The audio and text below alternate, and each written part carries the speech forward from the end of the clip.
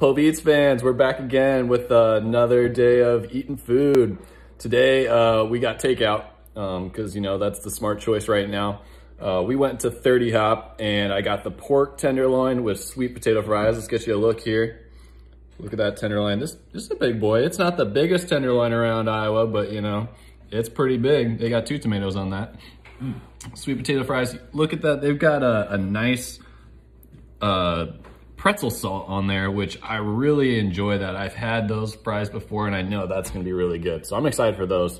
Um, you'll see the sauce on here. We got dynamite sauce. It's a spicy mayo-based sauce. Um, looks like there might be some onions on here. Uh, the darker sauce, I don't know what that is. It, it's probably some sort of like poison type sauce. So we're gonna go ahead and get a mouthful here. See if I can even pick this thing up. Jeez, this is a meaty boy. Oh, I'm gonna have to just like leave it in here just go for it. Mmm, mm-hmm.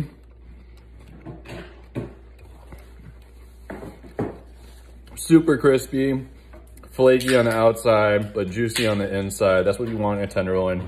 They've got their like homemade pickles, there's jalapenos on there. I didn't know that, but I like jalapenos, so that's good.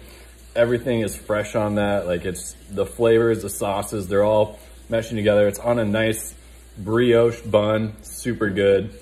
Uh, let's get some fries. I know I've had them, but I, these are these are good. Mm. Mm-hmm. That salt is key with the sweet potato fries. So good, so good. Get out there, guys. Go to 30 Hop support them. They're a local business.